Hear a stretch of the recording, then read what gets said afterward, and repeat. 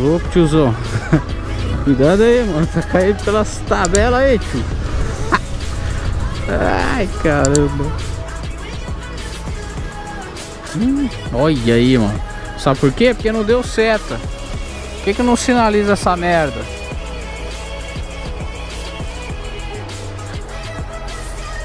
É, tiozão, tá complicado aqui em Poço. É, esses motoristas vão matar muito motoqueiro ainda. Que, que custa ligar a seta? Olhar no retrovisor. Roda a vinheta aí, irmão. Tá piscando, irmão? Pera que eu vou ver. tá, então você tá piscando, já sabe, irmão. Tá gravando.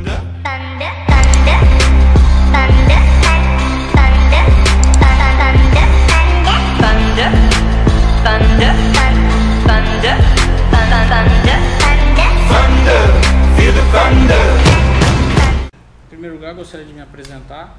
Eu sou, meu nome é Itamar Bezerra, o Sérgio já me conhece. Eu sou, exerço a função de motoboy aqui na cidade. É, como a administração do Sérgio é, tem ouvido a população, então eu quis marcar essa reunião juntamente com outros representantes da parte de motociclismo aqui de Poços de Caldas, né? Porque a gente anda o dia a dia, a gente sabe das dificuldades que nós motociclistas temos aqui na cidade. Eu tomei a liberdade, assim com o apoio deles, é, da gente marcar essa reunião para a gente trazer algumas sugestões, algumas propostas e espero que como a sua administração já falei é, gosta de ouvir a população, que pelo menos alguma, algumas dessas propostas seja aceita pela administração e coloque em prática, tá? Nós temos aqui o pessoal é, do Gasparzinho, Vinícius, a, a Isabelle, o Franklin também é motociclista aqui na cidade, a Michele é do Expresso Mototáxi, é, foi convidado outras pessoas, mas por motivos maiores não foi possível participar. Eu trouxe aqui, depois eu posso te mandar por e-mail, você me passa um e-mail, uma estatística da Polícia Militar sobre os acidentes que aconteceram em 2017, tá? Essa estatística eu tenho ela completa com todos os boletins de ocorrência, com todas as numerações de boletim de ocorrência. A Polícia Militar, pelo cabo Leonardo, me forneceu com autorização do comando da Polícia Militar é, essa estatística mostra é, o número de acidentes por veículos e o número, no caso aqui, eu, eu frisei o número de acidentes fatais de motocicletas que aconteceram né, é, no ano de 2017. Então, o total foi 3.793 acidentes. Desses 3.793, 510 acidentes foram com motocicletas. É, ou seja, 13,45% apenas desses acidentes envolvendo motocicletas. O problema é que o motociclista se machuca muito mais do que é, um carro. Né? Porque nesse, no, na estatística de acidente é qualquer. Deu um batidinho, chamou a polícia e já entra. É verdade. Então, tá aqui, eu vou passar para vocês. É, diante desses números e tendo é, exemplos de outras cidades, até cidades menores do que Poços de Caldas, eu estou apresentando aqui três medidas para a gente tentar reduzir esse número de acidentes e tentar diminuir essa, essa quantidade é, de vítimas fatais ou vítimas lesionadas. Porque às vezes não é fatal, mas no caso de um acidente de moto, qualquer batidinha, que nem você falou, acaba causando uma lesão. Tá? Uma delas, que eu acho que é a mais importante, uma das mais importantes, é criar uma faixa de retenção exclusiva para motocicletas que fica antes da faixa de pedestre. É, essa, essa faixa já, ela já é presente em grandes capitais e também em cidades de grande e médio e até pequeno porte. Tá? É, no caso de São Paulo, eles chamaram essa, essa faixa de retenção de frente segura Vou passar um para você aqui. E eu tenho aqui o relatório da avaliação do projeto Frente Segura é, que a CET de São Paulo fez para o CONTRAN. Tá? Então, É, a faixa é essa aqui, ó. É uma faixa de retenção exclusiva. Ela tem a resolução do CONTRAN, pode ser aplicado na cidade, está dentro da lei. O CONTRAN regularizou essa faixa, tá? E o mais importante é que em 2013 ela foi implantada em alguns pontos, inclusive tem um estudo aqui, em alguns pontos da cidade de São Paulo. E essa faixa reduziu o número de acidentes nesses pontos que foram implantados em 28% o número de atropelamento, em 6% o número de acidente com vítima, o número de feridos foi reduzido em 17% e o número de acidentes com motos foi reduzido em 25%. Isso aqui é um estudo da CET, tá? Eu vou deixar com o Sansão. Depois você olha com carinho, por favor. Essa, essa faixa de retenção exclusiva, ela é uma faixa demarcada que fica à frente dos carros que os motociclistas utilizam para parar no semáforo. O objetivo é evitar o conflito entre o motorista e o motociclista e favorecer uma fluidez no trânsito. Nas cidades onde a faixa foi implantada, os acidentes com motocicletas diminuíram. As motocicletas têm mais torque que os carros, portanto, elas acabam arrancando primeiro que os carros quando o farol abre. Essas faixas ajudam a organizar melhor o trânsito com mais fluidez. Funciona como um ponto de reorganização do, do trânsito. Motociclistas e motoristas dividem faixas e andam juntos durante o percurso. No momento em que eles param no semáforo com essa faixa, é uma ótima oportunidade para reorganizar e trazer fluidez, fluidez no trânsito na hora que, que abre o farol. Com isso, a importância de trazer mais seguranças para os motociclistas e evitar que fiquem aglomerados entre os carros. Então eu tenho um exemplo aqui, ó. Esse, esses dias eu filmei, o cara quase passou em cima do pé do motociclista. Por quê? Porque ele está parado junto com o carro. Não tem uma área de segurança para o motociclista. Já, eu já levei uma batida por trás, uma batidinha simples, nem cheguei a cair. Mas acho que isso já aconteceu com alguns dos meninos lá. É, então, para evitar que aconteça um negócio futuramente, eu acho que seria muito importante vocês olharem com carinho. Evita, isso daqui são exemplos de outras cidades, mas evita isso. Eles ficarem aglomerados na frente dos carros sem uma proteção. É, pessoal, se vocês quiserem olhar também.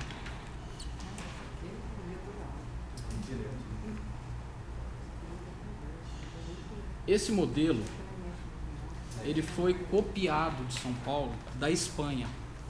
A Espanha foi o primeiro país a apresentar esse modelo. E aí outras cidades seguiram, como Campo Grande, Distrito Federal. Esse aqui também é Distrito Federal, Federal.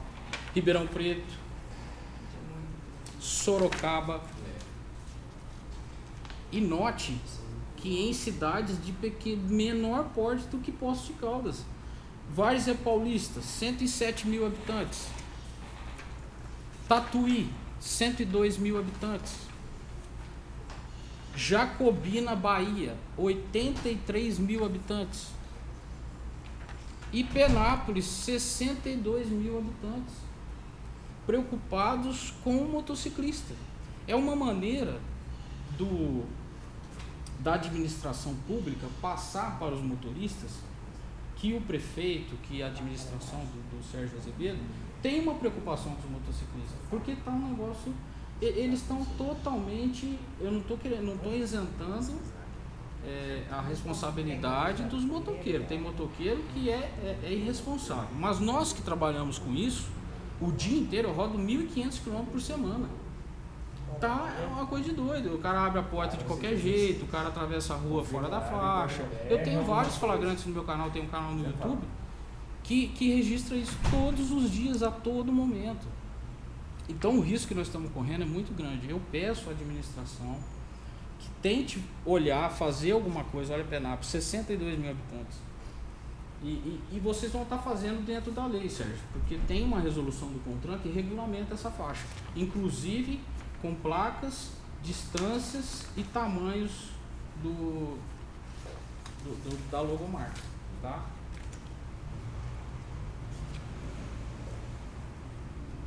Uma outra medida que eu venho a sugerir, eu gostaria, né, a gente não teve tempo de apresentar, se tiver alguma, se tiver alguma coisa de desacordo aí, vocês falam, pelo amor de Deus. Tá?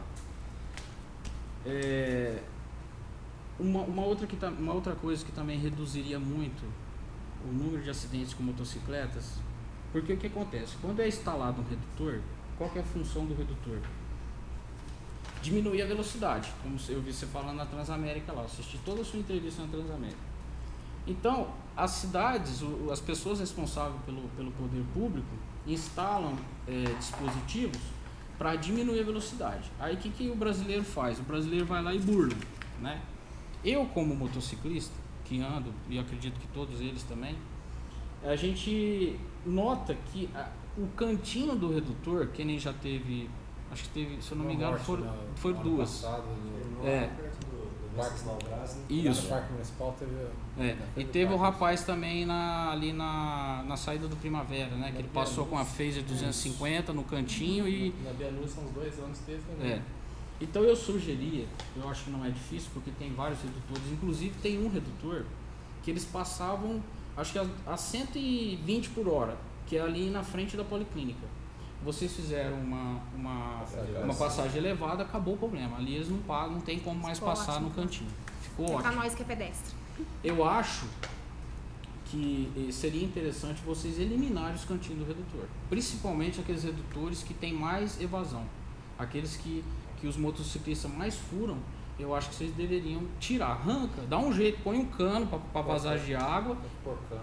É, e põe o, o, e passa o asfalto por cima para evitar o poder público fazendo isso, vocês estão. É lógico, o cara, pô, né, que não ouvi você falando. É, é, o que falta é a consciência. Mas falta consciência para o motorista, falta para o motociclista também. O que, que o poder público poderia fazer? Diminuir essa falta de consciência fazendo aquilo que, vocês fazem. Que se é para reduzir realmente a velocidade quando chega próximo cruzamento, se eles estão furando esse cantinho de redutor, elimina o canto do redutor, faz redutor sem canto. Você faz a passarela elevada, tira o canto, acabou. Você ajuda o pedestre e ajuda o motociclista a não morrer. Entendeu? É a segunda medida. E a terceira medida, isso aí a gente podia até, eu até, posso até ajudar, a gente procurar é, parceiros da, da rede privada para fazer uma campanha de conscientização, tanto nos, nos faróis quanto na, na TV, na mídia, o, a respeito do uso de celular enquanto dirige. O negócio está terrível, terrível. Eles não prestam atenção. Ah, eu vi a moto em cima da hora. Mas o que, que você estava fazendo? Você estava prestando atenção? Não, estava usando o celular. Entendeu? Então, tem muitas cidades que já adotaram o sistema de fazer uma campanha né, para tentar diminuir o uso do celular enquanto dirige. o, o, o, o trânsito, o foco é, é, é, a via, é o pedestre, é o motociclista, é o carro, não é o celular. Deixa para usar o celular chegar em casa, mas eles não têm essa noção. O que, que a gente podia fazer? Tentar fazer uma campanha no farol e na mídia para tentar diminuir isso. Essas são as três medidas que, junto, juntamente com outros motociclistas, a gente tá, eu tô, vim aqui em nome deles para apresentar. Aí o, o pessoal do, do Gasparzinho lá sugeriu é, colocação de mais bolsões, né? É, pelo menos um, alguma coisa, né? Mais que a gente, assim, às vezes a gente sente lesado na questão do seguinte, a gente para para pegar um pedido de uma entrega, de dois a três minutos que separa entre um carro e outro. Como a vaga é destinada para carro, a gente está errado de parar ali. Mas às vezes a gente vai numa rua que eu não tenho vaga para parar no bolsão. Eu passo pelo bolsão, eu não vejo vaga, eu falo, pô, não tenho vaga, eu vou parar do lado de um carro para pegar minha entrega e sair. Aí a gente é multado por estar entre os carros porque realmente está errado. Então, assim, alguma espécie de talvez colocar um bolsão a mais nas, nas ruas principais do centro, ou talvez existir uma, uma tolerância, uma, uma flexibilidade da Zona Azul de talvez, sei lá, uns 5 minutos para a gente poder ter o tempo de pegar a entrega e sair que não demora mais do que 5 minutos, sem a gente ser, a gente ser multado. Que às vezes a gente entende que ser é, colocar um bolsão a mais em cada rua, às vezes é mais, né, mais custoso, né, mais complicado do que de repente a gente ter essa flexibilidade de ter uns 5 minutinhos de tolerância para pegar uma entrega, né? Que é uma coisa que normalmente é rápida, é de 2 a 3 minutos, não, não tem como demorar mais do que isso. E, você acha que existe essa possibilidade? Não, descarga. A possi sim, a possibilidade de colocar um bolsão é muito melhor do que a possibilidade de fazer, de deixar a tolerância. A tolerância, né? a tolerância é. chama-se jeitinho, é. porque se ela tem uma lei que determina aquilo, se você tiver tendo essa tolerância, você está dando um jeitinho. Uhum. Aí eu não posso, eu não poderia nunca autuar um cara que parou na vaga de deficiente físico, porque parou só cinco minutos. Verdade. Sempre é desculpa. Uhum. A vaga de idoso, foi só, fui só ali e já volto. Porque uhum. daí já vai entrar no jeitinho. É verdade. É, já aconteceu lá com a gente, a Carol, ela foi montada na carga e descarga. Ela parou também. a moto para pegar um açaí, quando ela saiu, ela foi multada. Mas era mototáxi ou moto? Não? Mototáxi. Ela moto foi entrega, multada. Mas cabe recurso, né? Porque é, eu não placa sei. não, não, é. tem, não, não tá escrito proibido moto. É, ela, ela foi multada, ela tentou argumentar que ela estava pegando uma entrega, não teve. Já aconteceu lá no mototáxi também de ter esse tipo de problema. Se tiver essa tolerância de poder parar na carga e descarga, já, já ajuda. ajuda. a gente também. Já ajuda. Mas não sei se é, Porque na placa carga Se for moto, se for moto entrega, é. moto entrega, sim. É. Bicicleta normal tem mototáxi. Uhum. Até porque a motocicleta normal, ela vai, ter, ela vai querer parar para ficar. É, no caso da entrega, ele quer só parar, pegar um negócio, ir embora e sair. Então, talvez se fosse melhor instruído os menininhos da Zona Azul, que eles estão sempre com caixinha ah, do lado, nas né? costas, identificados, sempre está. E não precisa parar no meio da carga e descarga para ocupar todo um espaço. A gente também instruiria os motoqueiros a parar no cantinho. Não precisa parar bem no meio ali, né, para atrapalhar todo o trânsito de alguém que precisa passar. Mas já aconteceu lá no mototáxi de levar multa porque estava no, no carga e descarga. É, mas o carga e descarga não, não tem a placa proibindo é, parada de moto, né? Agora nas outras duas ideias, prefeito, eu acho muito, muito válido. Essa da, da faixa de retenção. É, nós, nós estamos, não sei qual o prazo de entrega, mas nós estamos fazendo um plano de mobilidade urbana. Sim, eu ouvi falar. Então vai ser feito esse plano, profissionais, a faculdade vai estar fazendo com a gente, e para que a gente possa é, implementar tudo que for sugerido ali, através de um estudo que vai ser feito na nossa cidade, a gente tentar melhorar. Provavelmente essa possa ser uma das sugestões deles, né? Se não for, a gente pode adotar assim mesmo mas provavelmente deva ser. Porque, e faixa exclusiva, tudo isso aí hoje é, é muito considerado. A mobilidade urbana não temos que dar prioridade para carros. Né? A prioridade tem que ser para bicicletas, pedestres. É isso que tem que ser a prioridade. Não a gente, tudo é sempre visando o carro, vai chegar uma hora que não tem mais como você andar na cidade. Então, é isso que a gente está esperando que venha, que a gente tente implantar. É lógico que não dá fazer tudo ao mesmo tempo. Né? A nossa cidade tem inúmeras necessidades quem dera que a gente pudesse atender todos juntos, né? Você vê, eu cito até o caso do asfalto, por exemplo, nós estamos fazendo asfalto agora. Nunca foi pedido, ninguém pedia. Mas agora, como nós estamos fazendo, todo mundo quer. E quer ontem. Ninguém quer a paciência para saber, ó, nós vamos chegar aí. Não, nós tem que ser primeiro que os outros. É, então é isso que às vezes as pessoas precisam é, entender os próprios motociclistas. A maioria, a grande maioria, eu acho que respeita todas as, as regras. Mas infelizmente tem alguns que não. E às vezes paga até com a vida. Pois né? é, verdade.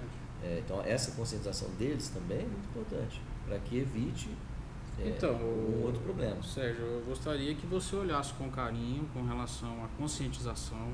De alguma maneira a gente buscar algum, uhum. algum patrocínio fora para a gente fazer uma campanha realmente para conscientizar uhum. esse pessoal. Entendeu? Podemos sim, eu acho que muito satisfeito aqui de receber vocês e ver que vem preocupação em querer ajudar. Né? Porque normalmente, bacana, às vezes, é. o que vem né? é só pedir coisa pessoal, né? Ah, eu preciso disso para mim. Uhum. Eu não estou aqui para atender pessoa física Isso. sozinha, né? A gente tem que atender a comunidade, atender um todo.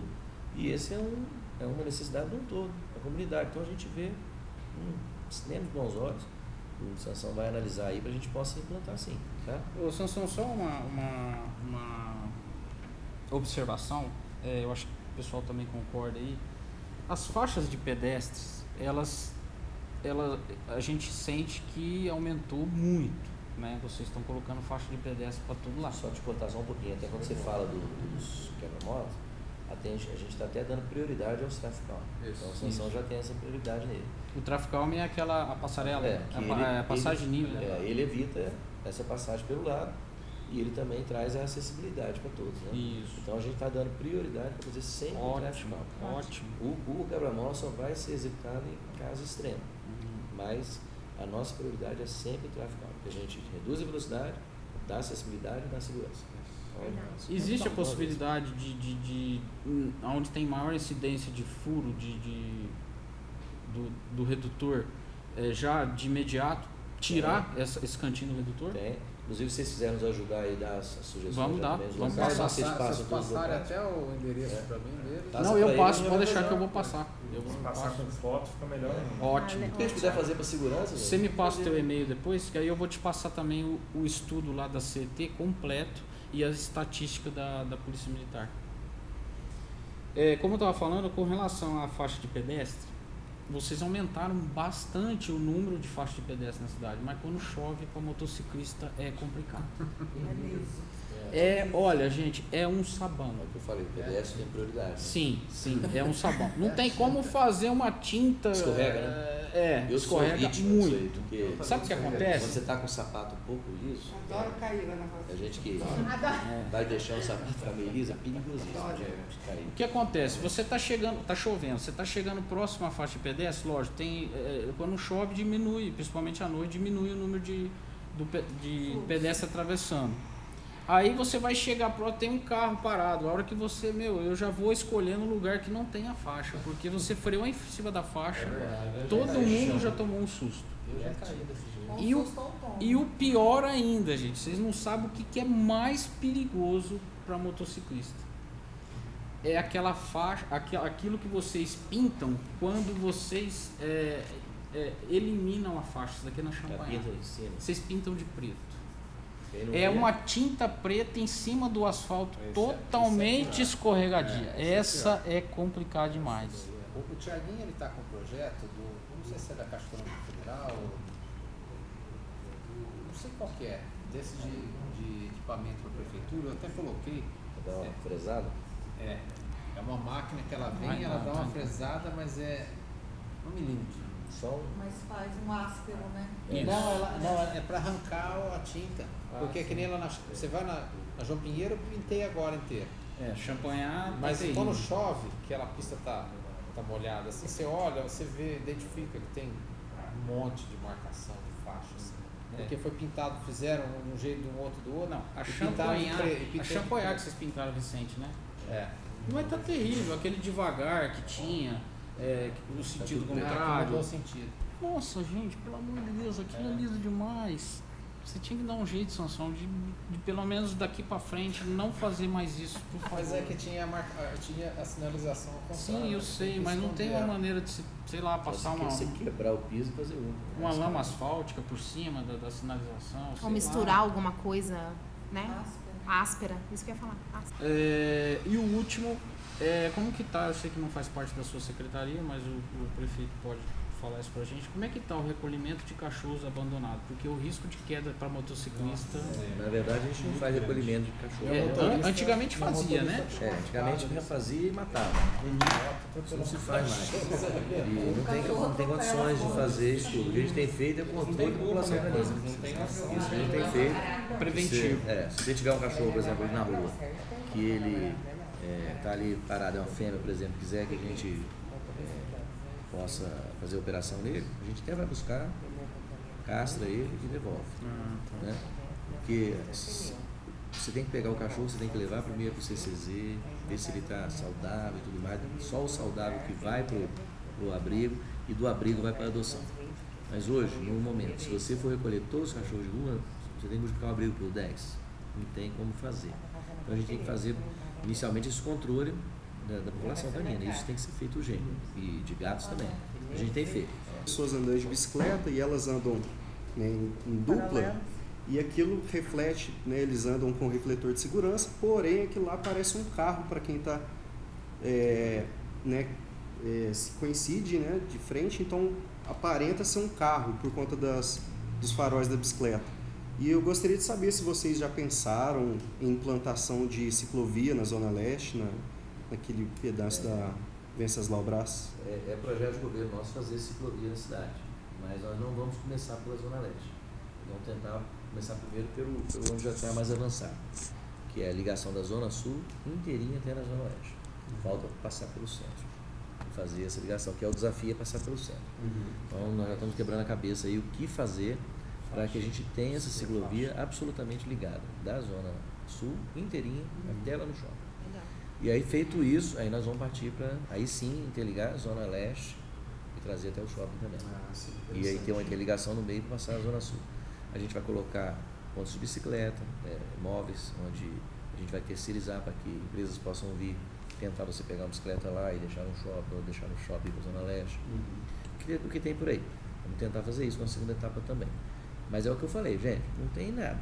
Né? Não tem como a gente chegar agora e fazer tudo ao mesmo tempo. Né? Vai ter que ser planejado. Ainda mais você aventurar uma ciclovia no centro. Ah, eu acho que é assim, vamos fazer por aqui. Uhum. E depois então, vem, o, vem é. a equipe de, do plano de mobilidade. Fala diferente. Fala, não é né? dessa, dessa Exatamente. Maneira, tem que ser feito. Então, como nós estamos com esse plano de mobilidade em andamento, uhum. nós vamos aguardar ele ser entregue para a gente ver se ele traz um estudo completo disso para a gente, que a gente já solicitou, que aí nos evita que a gente faça amadorismo, de tentar uhum. fazer uma coisa que a gente acha que vai dar certo. Aí vai ser uma coisa que foi estudada. Né?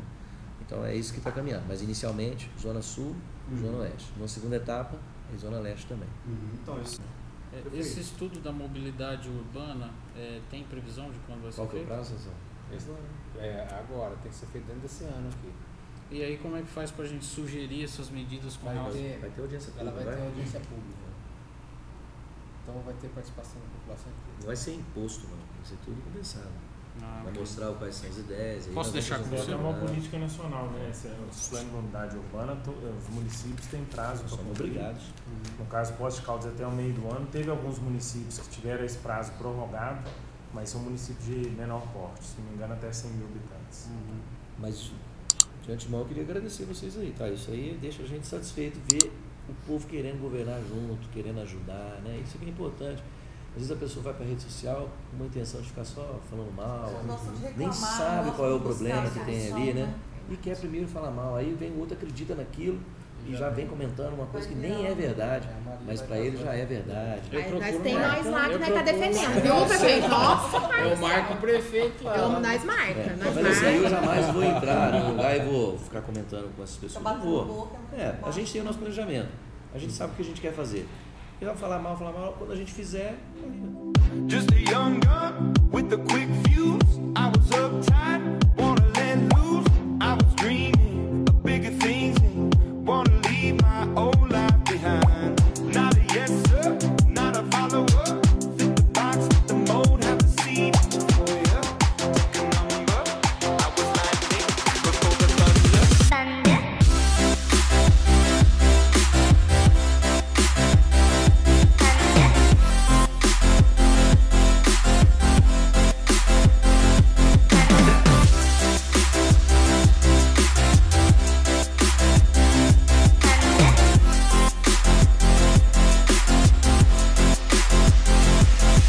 Amém, glória a Deus. Mais um momento juntos com a palavra, com o Espírito Santo, para trazer não só uma informação, mas uma revelação para a tua vida e para a minha vida. Esse texto aqui em Marcos capítulo 5, verso 35 e 36, fala daquele homem, Jairo, né, que tá, com as filhinhas dele estava quase morrendo. Ele falou com Jesus, Jesus foi até ele e eles estavam quase chegando em casa, na casa de Jairo, para Jesus curar, ressuscitar aquela menina, que a princípio era curar, depois ficou sabendo que ela tinha morrido. Quando eles estavam chegando, versículo 35 diz assim: Enquanto Jesus ainda estava falando, algumas pessoas chegaram, vindas da casa de Jairo, o dirigente da sinagoga, quem informaram, falaram para Jairo: A tua filha já está morta, não adianta mais incomodar o mestre. Eu amo esse versículo 36, que diz: Jesus. Mas Jesus não deu atenção àquelas notícias e, voltando-se para o dirigente da sinagoga, o encorajou: Não temas, tão somente continue crendo. Eu acho bacana demais isso daqui. A notícia era o quê? Agora tua filha já morreu, você não precisa mais incomodar o mestre. E Jesus fala, que diz, né? Jesus ele não, não deu importância a isso. Ele não pesou essas palavras, essas palavras de ela morreu, porque antes estava doente. Então é mais ou menos assim, tem jeito. Agora ela morreu, não, Jesus falou assim: não tem importância. Se estava doente, eu curo, se morreu, eu ressuscito. O que está doente na sua vida? O que, que já morreu na sua vida? Às vezes um sonho, um plano de Deus, uma vontade né, que você colocou diante de Deus, Deus, não, estou junto com você. Não sei o que, está doente ou que está morto na sua vida, às vezes um relacionamento, um casamento, uma situação profissional. Eu não sei o que que morreu, porque enquanto ah, tá, ainda vai dar jeito, agora não tem jeito mais. Não tem jeito para você, meu amigo. Mas para o Senhor tudo é possível aquele que crê. Jesus falou assim: ó, não temos, continue crendo, continue crendo em mim. Não fique com essas últimas notícias. O que, que são? O que, que é o Evangelho? Boas notícias. Você tem ouvido as boas notícias daquilo que Jesus fez em favor da sua vida? Ou você tem nutrido o seu coração e a sua mente com más notícias? Jesus falou, voltando para o dirigente, diz: Não temos, continue crendo. Jesus não deu atenção a essas notícias. Não dê atenção. Quando eu estou falando isso, não é para você ser uma pessoa alienada do mundo. Mas a gente tem ouvido tantas notícias ruins e o Evangelho, que são as boas notícias. Ouça o Evangelho e essas notícias ruins. Está doente, morreu, vai morrer, não tem jeito mais, não tem solução mais. É a hora do milagre do Senhor. É a hora de Deus intervir e fazer coisas sobrenaturais na sua vida e através da sua vida. Não temas, tão somente continue crendo no nome de Jesus, na obra consumada de Cristo, naquilo que Ele é capaz de realizar em favor da sua vida. Amém?